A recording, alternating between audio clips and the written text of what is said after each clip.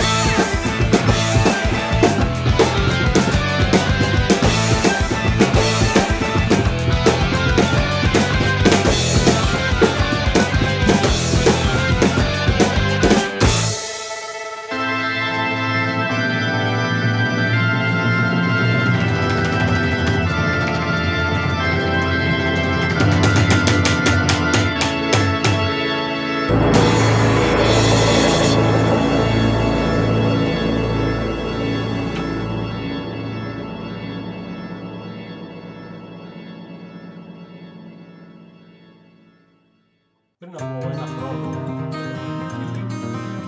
είχα βρεθεί στη συμπρωτεύουσα στη Θεσσαλονίκη. Και βόλταρα εκεί με την κοπέλα μου στο κέντρο της πόλης ώσπου κάποια στιγμή μου ήρθε ένα ανέκδοτο στο μυαλό με τη βοήθεια φυσικά και της κοπέλας μου και το οποίο θα σας το πω για να σας διασκεδάσω όπως πάντα. Πάντα ένα ανεκδοτάκι είναι ό,τι πρέπει είναι τώρα τα τρία μνημεία της Θεσσαλονίκης, τα τρία σημαντικότερα, ο Λευκός Πύργος, η Ρωτόντα και η Καμάρα. Και αράζουν σε ένα καφέ της Θεσσαλονίκης και πίνουν καφέ. Ο Λευκός Πύργος λοιπόν παίρνει το λόγο σαν το πιο εντυπωσιακό αξιοθέατο της Θεσσαλονίκης και λέει παιδιά σας, μαζέψα, σας μάζεψα σήμερα εδώ για να σας πω κάτι πολύ σημαντικό και κάτι σχετικά δυσάρεστο. Θα χρειαστεί ένας από εμάς τους τρεις να φύγει από τη Θεσσαλονίκη και να πάει στην Κωνσταντινούπολη.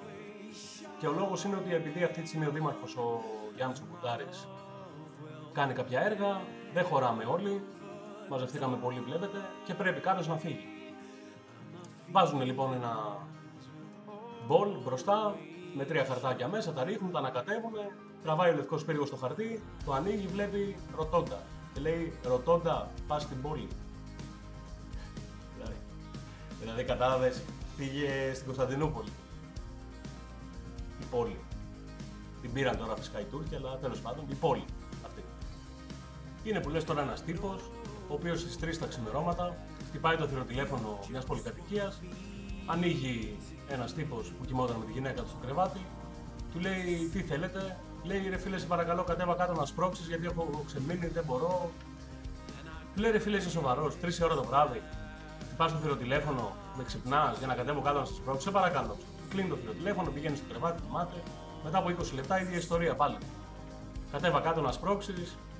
Τέλος πάντων, με τα πολλά πολλά, η γυναίκα του τον πείθει, του λέει: Θυμάσαι τότε στο Βόλο που είχαμε πάει εκδρομή, είχαμε ξεμείνει το βράδυ και ήρθε εκεί ένας φίλος από την άλλη άκρη της πόλης να μας βοηθήσει και τα λοιπά. Τέλος πάντων, το ρίχνει στο φιλότιμο, δίνεται αυτός, κατεβαίνει κάτω. Δεν βλέπει κανέναν όμως στον δρόμο. Φωνάζει, φίλε, εσύ που ήταν να σε σπρώξω, λέει, έλα σε σκούνιες. Νόμιζε ότι θα το σπρώξει με τα μάξι, αλλά δεν, τον, δεν ήταν στο αμάξι αυτός. Αυτός από ό,τι φαίνεται πρέπει να είχε βγει, να είχε πάει για ποτό, κατάλαβες και ήθελε να, να το βοηθήσει κάποιος να σπρώξει την κούνια για να κάνει κούνια. Για να πάρει λίγο αέρα. Αλλά τώρα αυτά τα πράγματα δεν είναι σωστά. Εντάξει. Τι να πεις. Αυτά είναι η ζωή. Για το τέλος θα σας επιφυλάσσω μια έκπληξη, η οποία βεβαίως θα συζητηθεί όσο τίποτε άλλο. Είναι μια συνέντευξη αποκλειστική στο κανάλι μου, στο οποίο βεβαίως κάνετε εγγραφή, παρακολουθήσετε τα προηγούμενα βίντεο και περάστε ωραία. Στα 9. Ου. Ναι. Όχι. Κοίταξε, πρώτη φορά άκουσα στα 11 και ήμουν σε ένα συγγενικό σπίτι και παρατήρησα ένα CD το οποίο έλεγε Kansas the best of. Και λέω θα το πάρω να δω τι, τι είναι αυτό το πράγμα. Και όντως είχαν μια πολύ ξεχωριστή μουσική, η οποία μου άρεσε πάρα πολύ. Και βέβαια πέραν τα πάνω κάτω, μόνο το, η προσθήκη του βιολίου στη μουσική τους ήταν κάτι πολύ ξεχωριστό, ειδικά για αυτή την εποχή. Και νομίζω ότι όντως τα πάνω κάτω ήρθαν κατά αυτόν τον τρόπο.